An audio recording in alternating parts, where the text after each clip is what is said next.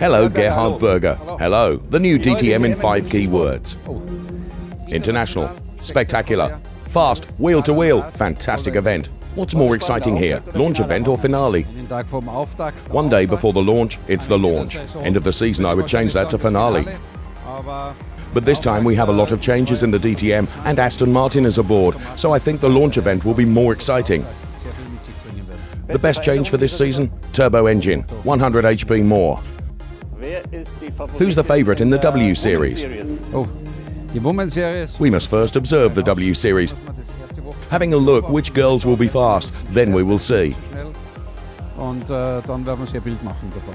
Why should we come to the DTM live? Ist ein Muss. It's a must, premium series, where you can get really close. Which track would you like to add to the DTM?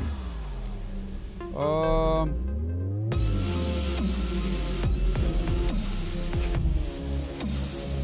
Monaco. Who will become champion? In der Regel wissen wir das bis zum Normally, we don't know until the last race. This year, it's even more difficult. New rules and many new drivers, so a prediction is impossible. Thank you. Have fun. Thank you. ciao.